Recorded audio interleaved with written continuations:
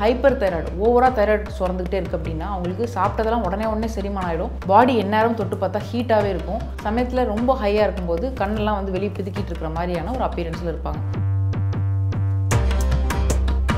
தேவையில்லாமல் அழுவுறது டிப்ரெஷன் இருக்கிறது மைண்ட் கன்ஃபியூஷனு மெமரி லாஸ் இந்த மாதிரியான பிரச்சனைகளை தாண்டி அடிக்கடிக்கு வந்து பால்பிட்டேஷன் இருக்கும். சமயத்தில் த்ரோட்டில் வந்து அவங்களுக்கு பால்பிட்டேட் ஆகும். இல்லைனா ஹார்ட் துடிக்கிறது அவங்களுக்கே வந்து உணர முடியும்.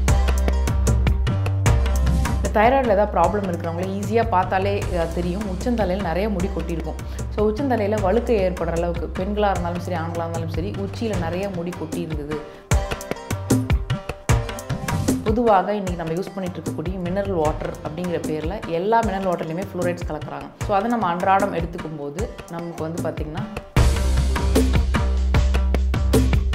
முட்டைக்கோசு காலிஃப்ளவர்லாம் சாப்பிடாதீங்க அப்படின்னு சொல்லியிருப்பாங்க. காரணம் இந்த அயோடின் நம்ம சாப்பிட்ற உப்புல இருக்கக்கூடிய அயோடினை தைராய்டுக்குள்ளே நுழைய விடாமல் தடுக்கும்போது தைராக்சின் சரியாக ஃபார்ம் ஆகிறது இல்லை அப்படிங்கிறதுனால தான்.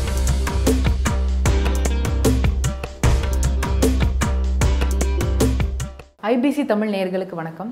நான் doctor Yogu Vidya from ethnic health care இந்த செக்மெண்ட்டில் நம்ம தைராய்டு ப்ராப்ளம் பற்றி பார்க்கலாம். பொதுவாக தைராய்டு அப்படிங்கிறது எண்டோக்ரைன் கிளாண்டில் ஒன்று எது இதெல்லாம் ஹார்மோன்ஸ் சுரக்குமோ அது எல்லாத்தையும் நம்ம எண்டோக்ரைன் கிளான்னு சொல்கிறோம் ஃபார் எக்ஸாம்பிள் பிட்யூட்ரி பீனல் கிளாண்ட்லேருந்து ஆரம்பித்து தைராய்டு அதுக்கப்புறம் பேன்க்ரியாஸ் ஓவரிஸ் இந்த மாதிரி எந்தெந்த கிளான்ஸ்லாம் வந்து ஹார்மோன்ஸை சுரக்குதோ அதை பொதுவாக நம்ம எண்டோக்ரைன் கிளான்ஸ்னு சொல்கிறோம் ஸோ அப்படி இந்த தைராய்டு வந்து பார்த்திங்கன்னா கழுத்து பகுதியில் ஃப்ரண்ட்டில் இருக்குது ஸோ இதிலிருந்து உங்களுக்கு உற்பத்தி ஆகக்கூடிய ஹார்மோன்ஸ் அப்படின்னு பார்த்தீங்கன்னா T three T four so tri iodothyronine and tetra so ஒன்று வந்து ஆக்டிவ் ஃபார்மில் இருக்கும் இன்னொன்று ஸ்டோரேஜ் ஃபார்மில் இருக்கும். எப்போ அது வேணுமோ அப்போ ஆக்டிவாக கன்வெர்ட் ஆகிக்கும் அப்படிங்கிறது தான். மேலும் அந்த பேர்லேயே நமக்கு தெரியுது ட்ரை அயோடோ டெட்ரா அயோடோ அப்படிங்கிறது டி த்ரீ அப்படிங்கிறது ட்ரை அயோடோ டி ஃபோர் அப்படிங்கிறது tetra iodo so four molecules of iodine இருந்துச்சுன்னா அது வந்து tetra iodo three molecules of iodine வந்து அதில் இருந்துச்சு அப்படின்னா டி த்ரீ அப்படிங்கிற ட்ரை அயோடோதெராக்சின் அப்படிங்கிறது தான் நமக்கு இயற்கையாக சுரக்கக்கூடிய ஹார்மோன் பட் இன்றைக்கி வந்து பார்த்திங்கன்னா இந்த டி த்ரீ டி ஃபோர் கம்மியாக சுரந்துச்சுன்னா அதுக்கு பேர் ஹைப்போதைராய்ட் இந்த டி த்ரீ டி ஃபோர் ஹையாக சுரந்துச்சுன்னா அதுக்கு பேர் ஹைப்பர் தைராய்டு பட் இன்றைக்கி தைராய்டு ஸ்டிமுலேட்டிங் ஹார்மோன் அப்படிங்கிற பிரெயின்லேருந்து உற்பத்தி ஆகிற ஹார்மோனை ஹைப்பர் தைராய்டுன்னு நிறைய பேர் மிஸ்டேக் பண்ணிக்கிறாங்க. ஸோ டிஎஸ்ஹெச் அப்படிங்கிற தைராய்டு ஸ்டிமுலேட் பண்ணி தூண்டி விடுற ஹார்மோன் வந்து பிரெயின்லேருந்து வர இன்ஸ்ட்ரக்ஷன்ஸ் ஸோ அது ஹையாக இருந்தால் அது ஹைப்போ தைராய்டு கிடையாது. சப்கிளினிக்கல் தைராய்டு ஏன் சப்கிளினிக்கல் தைராய்டு அப்படின்னா அது என்ன தான் மாத்திரை தைராக்ஷன் கொடுத்துக்கிட்டே இருந்தாலும் TSH keep on rising in அப்படிங்கிற கண்டிஷனில் அந்த ஹண்ட்ரட் எம்சிஜியில் ஆரம்பித்து one twenty five one fifteen எவ்வளோ மாத்திரை எடுத்தாலும் அந்த டி த்ரீ டி ஃபோர் குறையவே குறையாது. டிஎஸ்ஹெச்சும் குறையாது. ஸோ இப்படி இருக்கக்கூடிய கண்டிஷனில் வந்து நம்ம வேறு விதமாக தான் ட்ரீட் பண்ணுவோம். அது என்ன வேறு விதமாக அப்படின்னா இப்போ டைப் டூ டயபெட்டிஸில் என்ன தான் இன்சுலின் சுரந்தாலும் நமக்கு வந்து எவ்வளோ யூனிட்ஸ் இன்சுலின் வந்து வெளியிருந்து எடுத்தாலும் சுகரே குறையாது. காரணம் ஏற்கனவே உடம்புலேருந்து சுரக்கிற இன்சுலினே நமக்கு யூஸ் பண்ணிக்க தெரியல முடியல. அப்படி இருக்கும்போது வெளியிருந்து நம்ம எடுத்தாலும் அது பாடி யூஸ் பண்ணக்கு முடியாமல் இருக்குது காரணம் உடம்புல இருக்கக்கூடிய கழிவுகள். லிவர் நல்லா இயங்காத ஒரு நிலை. ஸோ இந்த கன்ஃபியூஷனை ஃபஸ்ட்டு நம்ம போக்கடிக்கும் போது ஆட்டோமேட்டிக்காக இந்த சப்கிளினிக்கல் தைராய்டு அப்படிங்கிற ஹஷிமோட்டோ சிண்ட்ரோமில் ஏற்படக்கூடிய ஹை டிஎஸ்எஸ் லெவலில் பெர்மனண்ட்டாகவே ஈஸியாகவே ரிவர்ஸ் பண்ண முடியும். எப்படி அப்படின்னு பார்த்தா நமக்கு குடல் சுத்திக்கு கொடுக்கும்போது பழைய மலங்களும் கழிவுகளும் கிளியர் ஆகும்போது கூடயே கெட்ட காற்றும் வந்து நீங்குது. அதை தொடர்ந்து ரத்த சுத்தி மருந்துகள் கொடுக்கும்போது ரத்தத்தில் தேவையில்லாத நஞ்சுக்கள் வெளியேறும். ஏன்னா எப்போவுமே நம்ம உடம்புல இருக்கக்கூடிய நஞ்சு டாக்ஸினோட தான் பழைய ஹார்மோன் உடம்பு ஒட்டிக்கிட்டு சுற்றிட்டு இருக்கும். ஸோ அப்போ டாக்ஸின்ஸை வந்து வெளியேற்ற ரத்த சுத்தி கொடுக்கும்போது ஹார்மோன்ஸ் பழைய ஹார்மோன்ஸ் எல்லாம் தனியாக சுற்ற ஆரம்பிக்கும். அந்த பழைய ஹார்மோன்ஸ் தனியாக சுற்றிட்டு இருக்கிறத நம்ம லிவர் வந்து ஈஸியாக கண்டுபிடிச்சி அப்படியே வெளியே தள்ள ஆரம்பிச்சிடும் அப்போ பிரெயின் சிக்னல் பாத்வே கரெக்ட் ஆகும். அதன் மூலமாக டிஎஸ்எஸ் லெவல் வந்து ஈஸியாகவே பெர்மனண்ட்டாகவே ரிவர்ஸ் ஆக்க முடியும். ஸோ இப்போது ஹைப்போதைராய்டு ஹைப்போதைராய்டு அப்படிங்கிறது டி த்ரீ டி ஃபோர் கம்மியாக சுரக்குதுன்னு பார்த்தோம். ஸோ அப்படி கம்மியாக சுரக்கும் போது என்ன ஆகுதுன்னு பார்த்தீங்கன்னா மெட்டபாலிசம் வந்து ரொம்ப வீக்காக இருக்கும். பசிக்கவே பசிக்காது. கொஞ்சம் சாப்பிட்டாலும் வயிறு உப்பிட்டு ப்ளோட் ஆகும். ஒரு மாதிரி நெஞ்சு எரிச்சல் இருக்கும். சம்டைம்ஸ் வந்து வாய் வரைக்கும் எது கழிச்சு ஆசிட் ரிஃப்ளெக்ஸ் ஏற்படும். மந்தமாகவே இருப்பாங்க ஆக்டிவாகவே இருக்க மாட்டாங்க. வெயிட் வந்து ஜாஸ்தியாகிட்டே போகும். ஸோ இதெல்லாம் தைராய்டுலேருந்து டி த்ரீ டி ஃபோர் கரெக்டாக சுரக்கல அப்படிங்கிற ஹைப்போ தைராய்டுக்கு இதெல்லாம் சிம்டம் அதே போல் ஹைப்பர் தைராய்டு ஓவராக தைராய்டு சுரந்துக்கிட்டே இருக்குது அப்படின்னா அவங்களுக்கு சாப்பிட்டதெல்லாம் உடனே உடனே செரிமானம் ஆகிடும் பாடி எந்நேரம் தொட்டு பார்த்தா ஹீட்டாகவே இருக்கும். படப்படப்படன்னு துரு துரு துருன்னு இருந்துகிட்டே இருப்பாங்க. சமயத்தில் ரொம்ப ஹையாக இருக்கும்போது கண்ணெல்லாம் வந்து வெளியே பிதுக்கிட்டு இருக்கிற மாதிரியான ஒரு அப்பீரன்ஸில் இருப்பாங்க. இந்த டிஎஸ்ஹெச் ஹையாக இருக்கிறவங்களுக்கு பார்த்தீங்கன்னா மெயினாக மூட் ஃப்ளக்சுவேஷன்ஸ் இருக்கும். தேவையில்லாமல் அழுவுறது டிப்ரெஷன் இருக்கிறது மைண்ட் கன்ஃபியூஷனு மெமரி லாஸ் இந்த மாதிரியான பிரச்சனைகளை தாண்டி அடிக்கடிக்கு வந்து பால்பிட்டேஷன் இருக்கும். சமயத்தில் த்ரோட்டில் வந்து அவங்களுக்கு பால்பிட்டேட் ஆகும். இல்லைனா ஹார்ட் துடிக்கிறது அவங்களுக்கே வந்து உணர முடியும். ஒரு சிலருக்கு வந்து பார்த்திங்கன்னா நெத்தி பொட்டில் கூட துடிக்குது அப்படின்லாம் சொல்லுவாங்க. ஹை டிஎஸ்ஹெச் இருக்கிறவங்க. இந்த ஹை டிஎஸ்ஹெச்னு சொல்லக்கூடிய ஹசிமோட்டோ சிண்ட்ரோமில் இன்னொரு முக்கியமான ஒரு சிம்டம் பார்த்தீங்கன்னா அவங்களால கோல்டு வந்து விஸ்டாண்ட் பண்ண முடியாது. எப்போல்லாம் கொஞ்சம் லைட்டாக ஏசியில் இருக்காங்களோ அல்லது வந்து பனி காத்துப்படுதோ அப்போல்லாம் வந்து ஃபிங்கர் டிப்ஸ் எல்லாமே வந்து ரொம்ப வலிச்சு வீங்கிடும். ஒரு மாதிரி இரும்பு கடிச்ச மாதிரி வீக்கமாகி வலி ஏற்படும்.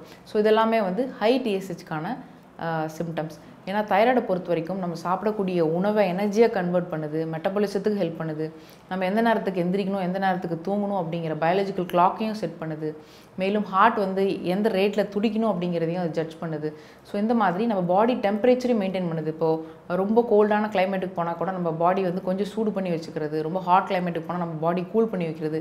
இந்த மாதிரி பாடியோட டெம்பரேச்சர் மெயின்டெனன்ஸ்க்கும் தைராய்டு ரொம்ப ரொம்ப ஹெல்ப்ஃபுல்லாக இருக்கும். ஸோ அதனால தான் தைராய்டில் இம்பேலன்ஸ் இருக்கிறவங்களுக்கு ஒன்று டெம்பரேச்சரை வந்து வித்ஸ்டாண்ட் பண்ணும்போது பிரச்சனைகள் ஏற்படும். ஹார்ட் துடிப்பில் ஏதோ பிரச்சனைகள் ஏற்படும். ஜீரண மட்டத்துலேயே ஏதோ பிரச்சனைகள் ஏற்படும். இதை தொடர்ந்து இந்த தைராய்டில் ஏதாவது ப்ராப்ளம் இருக்கிறவங்கள ஈஸியாக பார்த்தாலே தெரியும். உச்சந்தலையில் நிறைய முடி கொட்டியிருக்கும்.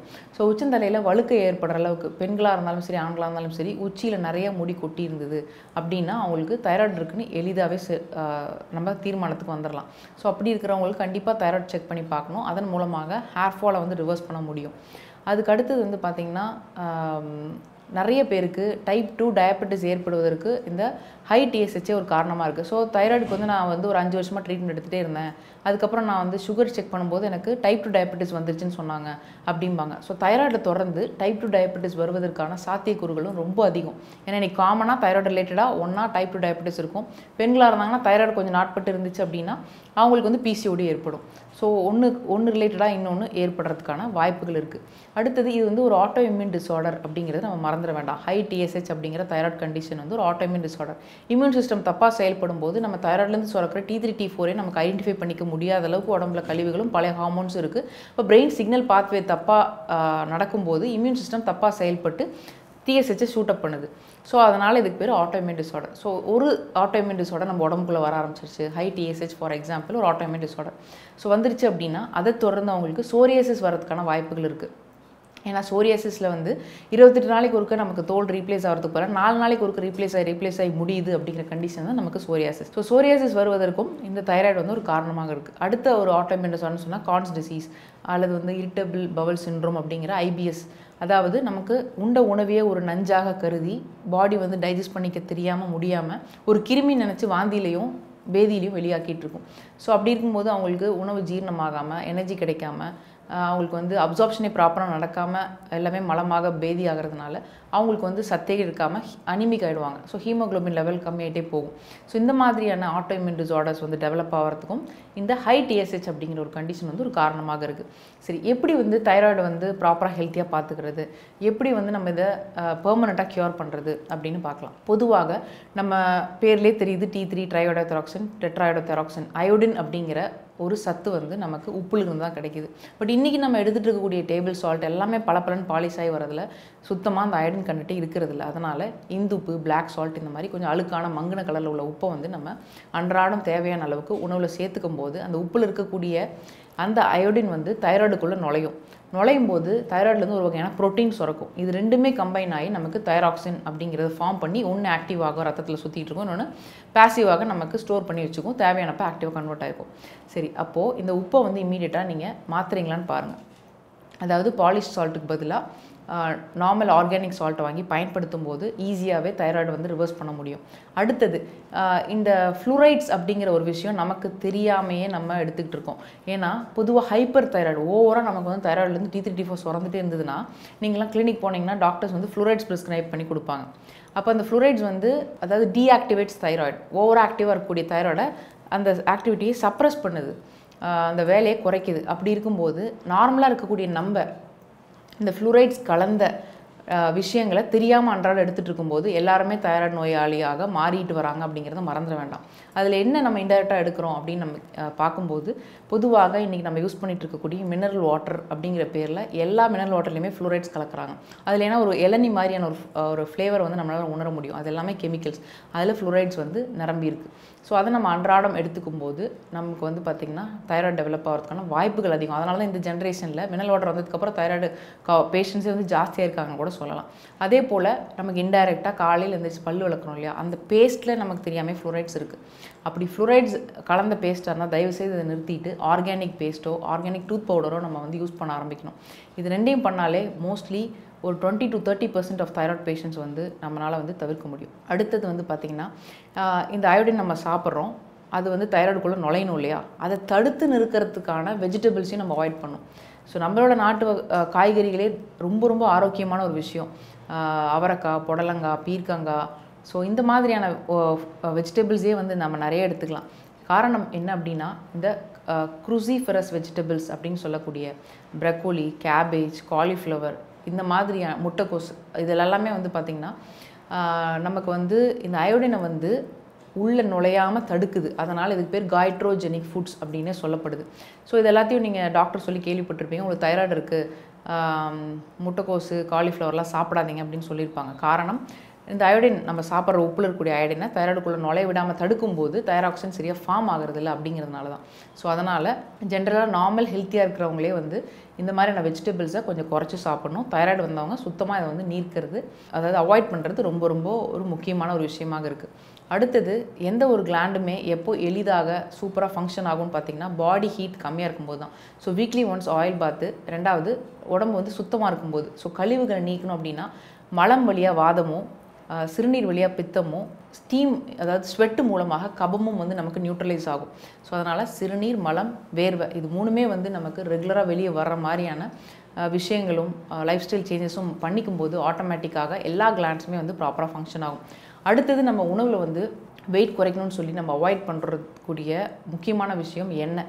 ஸோ எண்ணெய் வந்து கெட்ட கொலஸ்ட்ரால் தான் அவாய்ட் பண்ணும். பட் நல்ல கொலஸ்ட்ரால் கொஞ்சமாவது நம்ம எடுத்துக்கணும். ஸோ இதெல்லாம் நல்ல கொலஸ்ட்ரால்னு பார்த்திங்கன்னா பொதுவாக ஃப்ரூட்டில் கூட நமக்கு குட் கொலஸ்ட்ரால் இருக்குது இந்த பட்டர் ஃப்ரூட்டுன்னு சொல்லக்கூடிய அவகேடோஸ்லேயே இருந்து இப்போல்லாம் எண்ணெயே எடுக்கிறாங்க. அவகேடோ ஆயில்னே இப்போ வந்து மார்க்கெட் நிறையா வந்துருச்சு. ஸோ அந் அந்த பட்டர் ஃப்ரூட்னு அவகேடோ வந்து நம்ம அன்றாட எடுக்கும் போதும் சரி அல்லது ஒரு நாளைக்கு ஒரு டேபிள் ஸ்பூன் ஆஃப் நெய் பசு நெய் வந்து ஆட் பண்ணுறது மூலமாகவும் சரி அல்லது ஒரு ரெண்டு ஸ்பூன் வந்து எள்ளு நம்ம அப்படியே மென்று சாப்பிட்றது மூலமாகவும் சரி தேங்காய் எண்ணெயோ நல்லெண்ணெயோ டெய்லி ஒரு ரெண்டு ரெண்டு ஸ்பூன் நம்ம எடுத்துக்கும் போதும் சரி நமக்கு அந்த குட் கொலஸ்ட்ரால் நம்ம ஃபேட் எடுக்கிறோம் இல்லையா? குட் ஃபேட் அதிலிருந்து தான் ஹார்மோன்ஸே ப்ரொடியூஸ் ஆகுது. அப்படிங்கும்போது இந்த மாதிரியான குட் கொலஸ்ட்ரால் ரிச் ஆயில் வந்து நம்ம அன்றாடம் எடுத்துக்கும் போது எல்லா ஹார்மோன் சிஸ்டமே வந்து ப்ராப்பராக ஃபங்க்ஷன் ஆகும். ஸோ தைராய்டு வந்து அப்னாமலிட்டிஸ் இருக்கிறவங்களுக்கு ஃபர்டிலிட்டிலையுமே வந்து நிறைய இஷ்யூஸ் இருக்குது ஃபார் எக்ஸாம்பிள் பெண்களுக்கு பிசிஓடி ஏற்பட்டு அதை தொடர்ந்து வந்து அவங்களுக்கு முட்டை வளர்ச்சி இல்லாமல் கரு நிற்காத நிலை அல்லது சமயத்தில் தைராய்டு லெவல் இம்பேலன்ஸாக இருக்கும்போது கன்சீவ் ஆயிடுவாங்க ஆனால் மிஸ்கேரேஜ் ஆகிடும் அப்புறமா செக் பண்ணி பார்க்கும்போது தைராய்டு இருக்குன்னு சொல்லி ரிப்போர்ட்டில் தெரியும். ஸோ இந்த மாதிரியான நிலைகளில் நம்ம ஒரு குழந்தைக்காக முயற்சி செய்கிறதுக்கு முன்னாடியே தைராய்டு லெவல்லாம் நார்மலாக இருக்கா அப்படிங்கிற ஒரு ஹெல்த் செக்அப் பண்ணிவிட்டு ப்ரெக்னென்ட் ஆகும்போது கண்டிப்பாக இந்த மாதிரியான குறை பிரசவத்தை நம்மளால் தவிர்க்க முடியும். ஸோ அதே போல் ஆண்களுக்குமே வந்து தைராய்டு இருந்துச்சுன்னா அது தொடர்ந்து டயபெட்டிஸ் டெவலப் ஆகிறதுக்கோ இல்லை ஸ்போம் கவுண்ட் கம்மியாகிறதுக்கான வாய்ப்புகளும் இருக்கிறதுனால கண்டிப்பாக தைராய்டு வந்து ஃபர்டிலிட்டி அஃபெக்ட் பண்ணுது அப்படிங்கிற காரணத்தினால அதை ட்ரீட் பண்ணிவிட்டு அதுக்கப்புறம் அவங்க வந்து பார்த்திங்கன்னா ஃபர்டிலிட்டி நோக்கி போகும்போது ஃபர்டிலிட்டி ரேட்டுமே வந்து சக்ஸஸ் ஆகும். ஸோ இது இல்லாமல் தைராய்டு ப்ராப்ளம் இருக்கிறவங்க என்ன மாதிரியான எக்ஸசைஸ் பண்ணலாம் அப்படின்னு பார்த்தீங்கன்னா பொதுவாக தைராய்டு கழுத்து பகுதிக்கு அதிகமாக ரத்த ஓட்டத்தை தரக்கூடிய சர்வாங்காசனம் அல்லது சிரசாசனம் அல்லது பெல்விக் பிரிட்ஜ் அப்படிங்கிற அந்த மாதிரியான எக்ஸசைஸ் எல்லாம் பண்ணும்போது தைராய்டுக்கு வந்து நல்லபடியான ரத்த ஓட்டம் போகும். அதை தொடர்ந்து வந்து பார்த்திங்கன்னா அவங்களுக்கு தைராய்டு கிளாண்ட் ஆக்டிவேட் ஆகிறதன் மூலமாக ஹார்மோன்ஸும் வந்து ப்ராப்பராக சுரக்க ஆரம்பிக்கும். ஸோ சித்த மருத்துவத்தில் வந்து பார்த்திங்கன்னா குண்ம உப்பு சூரணம் அதுக்கப்புறம் அன்னப்பவள பருப்பம் சதாவரி இந்த மாதிரியான multi herbal and mineral formulations கொடுக்கும்போது நாட்பட்ட தைராய்டாக இருந்தாலும் அதை எளிதாக ரிவர்ஸ் பண்ணி பெர்மனண்ட்டாகவே வந்து தைராய்டு ப்ராப்ளமை க்யூர் பண்ணுறதுக்கு நிறையவே வாய்ப்புகள் இருக்குது ஸோ இந்த செக்மெண்ட்டில் நம்ம தைராய்டு பிரச்சனைகள் எதனால் ஏற்படுது ஏற்பட்டால் என்ன மாதிரியான சிம்டம்ஸ் இருக்கும் இந்த மாதிரியான தைராய்டு பிரச்சனை இருக்கிறவங்க என்ன மாதிரியான உணவுகளை வந்து அவாய்ட் பண்ணணும்? அதுக்கான சித்த மருந்துகள் என்ன? இதை பற்றிலாம் பார்த்தோம். இன்னொரு செக்மெண்ட்டில் இன்னொரு முக்கியமான ஒரு டாப்பிக்கோடு உங்கள் எல்லாரையுமே சந்திக்கிறேன். நன்றி வணக்கம்.